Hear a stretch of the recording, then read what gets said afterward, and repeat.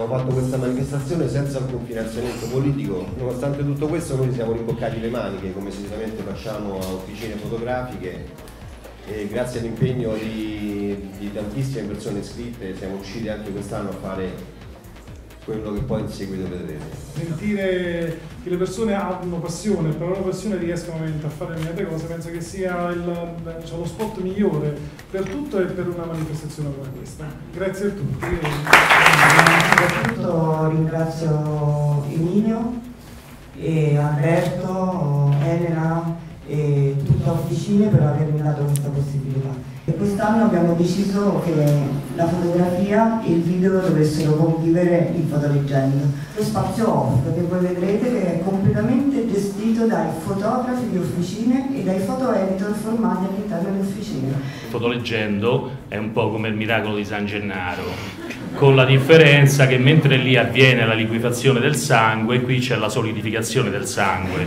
Sicuramente quello di Tiziana, il mio, di Elena Giorgeri, un po' meno quello di Emilio che è un po' incosciente.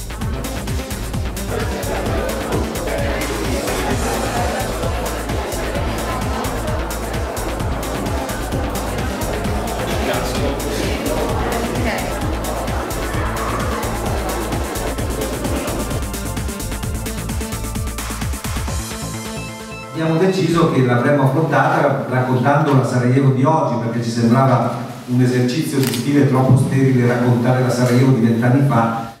Alice Maia è qua con noi oggi, è voluto venire da Sarajevo per essere presente alla, a questa manifestazione, visto che è protagonista, oltre che di questo video, anche delle eh, fotografie che, eh, che, avete visto. Everyone thought uh, war in Bosnia, well, four years.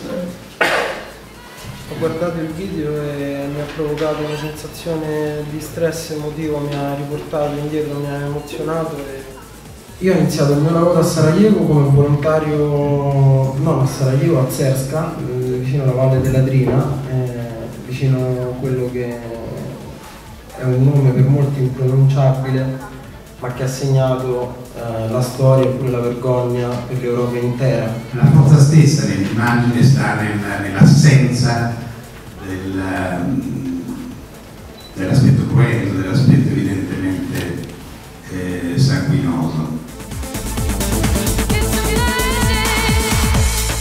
Zona è un'associazione appena nata di fotografi, foto editors, giornalisti, eh, documentaristi con eh, la voglia di eh, lavorare su progetti fotografici e multimediali. Ma... And what I was planning to do is, is go, uh, I think 10 years back almost, to the uh, project Go No Go by Ad van Denderen.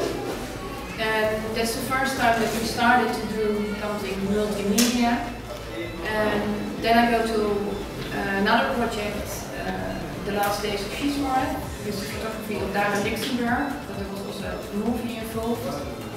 And I'm going to show you how we uh, how we combine the movie and the still photography in the exhibition.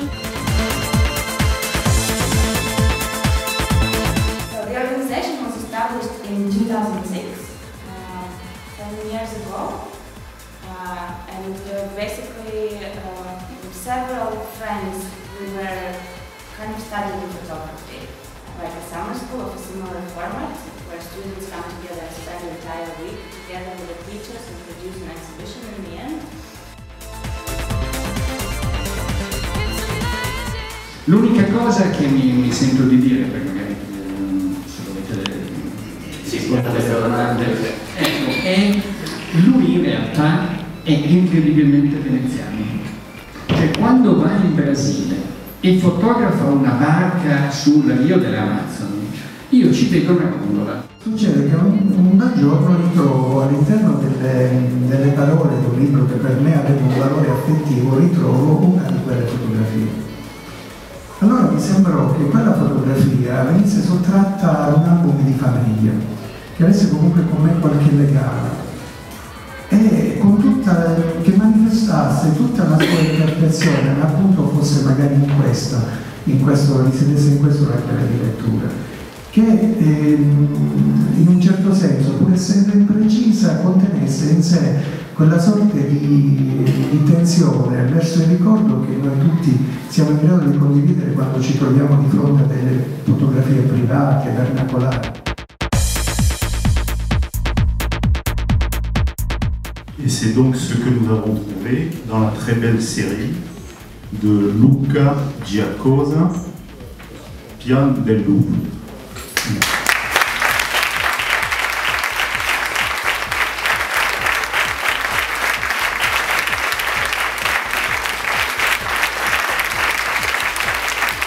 Je suis encore plus heureux que, que ce soit lui parce que j'ai appris qu'il a fait euh, la même école de, de Beaux-Arts que moi. ha detto che ha scoperto e io sono testimone dopo aver selezionato Luca Giacosa che ha studiato nella stessa scuola eh, di fotografia. Il primo premio è andato a Luca Giacosa.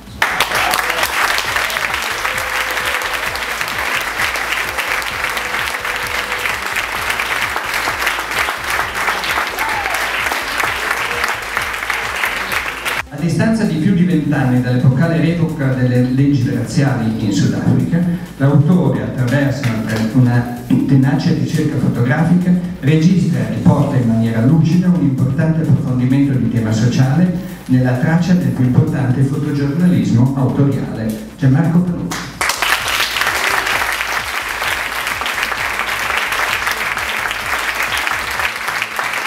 Per la capacità di sintetizzare in un processo una tematica di grande attualità e futuribilità connessa a tensioni politiche e istanze nazionali, nazionalisti e sociali. L'indagine fotografica ha contestualizzato attraverso un maturo linguaggio visivo di reportage la gestione delle risorse naturali per il controllo del territorio e come attraverso la gestione di tale controllo sia possibile limitare la libertà di un popolo. Tommaso Prodi.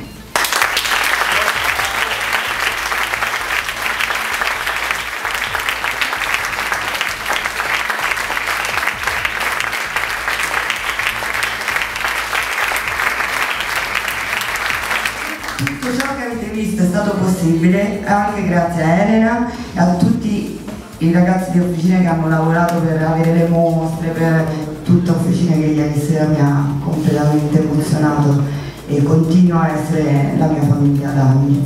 Quest'anno è stato veramente, cioè, senza ripetersi, ma insomma, è stato un sacrificio enorme per l'officina. Le prossime settimane ci sono altri incontri, altre opening di altre mostre, quindi vi aspetto tutti perché non sono le uniche queste, non è che finisce lì, sa chiudere e basta, no? Grazie a tutti e arrivederci al prossimo anno.